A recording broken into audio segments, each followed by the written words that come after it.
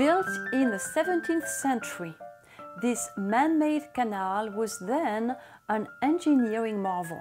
It was built from Toulouse to Montpellier to transport merchandise such as grain, wine, silk and heavy cloth.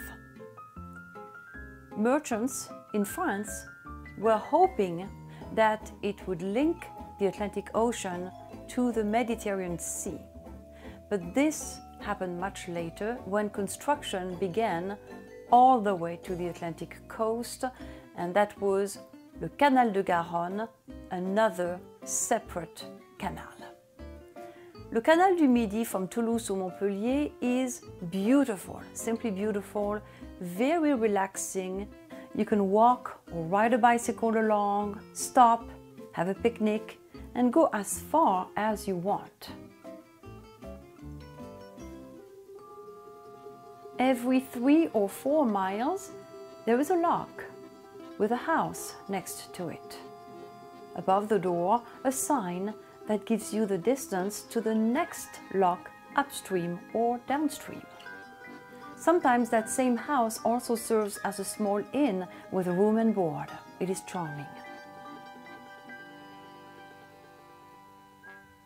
When a boat or a barge comes close, the lock keeper comes out and operates the lock to raise or to lower the boat.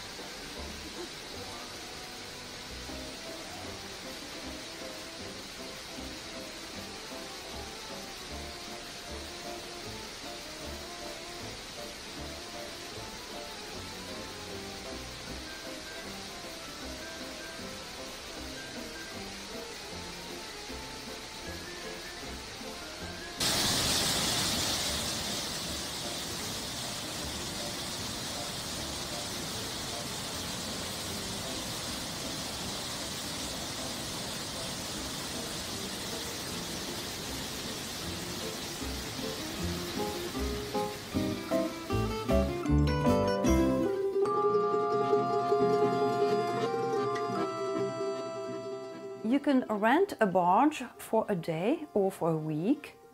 You can go on a cruise or you can simply watch while sitting on a bench in the shade of the sycamore trees that border miles and miles of this famous waterway.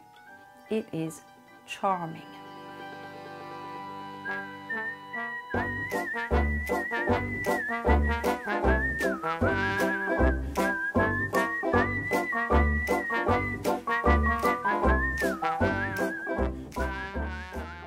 Please leave a comment, make some suggestions on some subjects that you would like me to develop, and give me a thumbs up to keep these videos coming.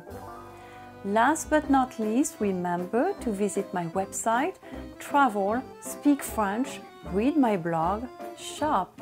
There is so much to do on voilabycoco.com. That's it for now. A big thank you.